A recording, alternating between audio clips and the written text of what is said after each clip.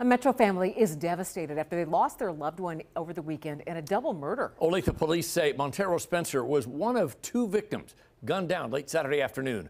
Fox 4's Thea Johnson spoke with Spenser's aunt, and she's live tonight from the Clarion Park Apartments in Olathe, where the shooting began. Tia.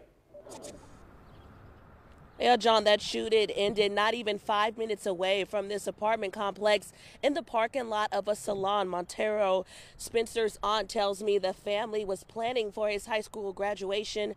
Now they're making other arrangements. To go out like this, like this, that's not right. It's not right for any child. And it's the last thing 18 year old Monterrio Spenser's family expected. I can only imagine how it would be in the same week talking about announcements and invitations to your child's high school graduation, and in the same week how to prepare to bury your angel. Olathe police say Spenser was shot multiple times Saturday evening at Clarion Park Apartments.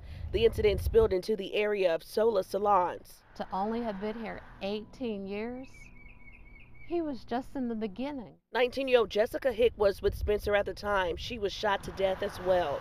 Police haven't said what led to the shooting, but say investigators have contacted everyone involved. And police say they are still working through information, will but will have more updates for us real soon. John?